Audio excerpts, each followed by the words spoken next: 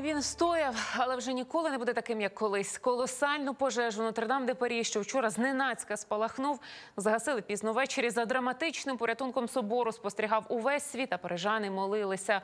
Будівлю вдалося зберегти, але історичні дерев'яні перекриття, дах, шпиль втрачено назавжди. Перші доброчинці вже готові жертвувати сотні мільйонів євро на відновлення храму, але це забере десятиліття.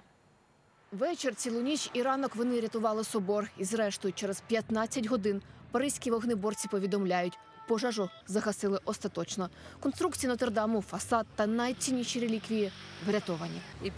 Нам вдалося винести унікальні пам'ятки завдяки ланцюгу солідарності. Ми передавали ці безцінні шедеври з рук до рук, і тепер вони в безпечному місці. Серед найславетніших урятованих старожитностей терновий вінець. Вважається, що саме в ньому Христа вели на страту. У 13 столітті французький король Людовик IX викупив реліквію за неймовірні на той час 135 тисяч ліврів. Цьогоріч, як і щороку, на Страсну п'ятницю, яка в католиків припадає саме на цей тиждень, його мали виставити в соборі на огляд загалу. Та несподівано все зіпсував вогонь. Доки горів Нотр-Дам, мешканці Парижа повсякчас були поруч. Для них він значно більше ніж пам'ятка із 850-річною історією.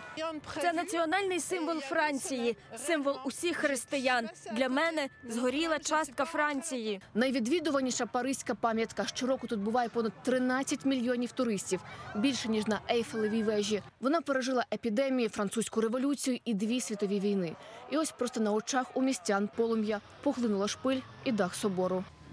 Мені просто бракує слів. Це пам'ятка, яку я люблю. Пам'ятка, де я живу. Вона пов'язана із силою селенною подій нашої історії. Я запитую Бога, чому за що? Думаю, я дістану відповідь уже на небесах. Усі паризькі храми били у дзвони, а люди співали.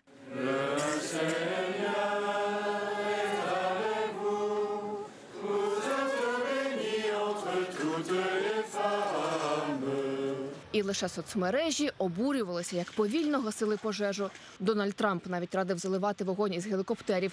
Незважаючи на критику, вогнеборці спокійно робили свою справу. І лише коли полум'я загасили, пояснили від потужних струменів води, обвалилися б стіни собору. Через це діяли так обережно. Щойно пожежу погасили. Еммануель Макрон закликав Францію згуртуватися заради відбудови Нотр-Даму.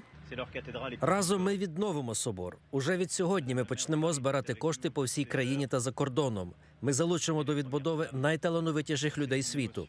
Запевняю, Нотр-Дам буде відтворений, бо це частка Франції. Першими відгукнулись найбагатші люди Франції. Родина бізнесмена Франсуа Андрій Піно надала на відбудову 100 мільйонів євро. Вдвічі більше дасть Бернар Арно.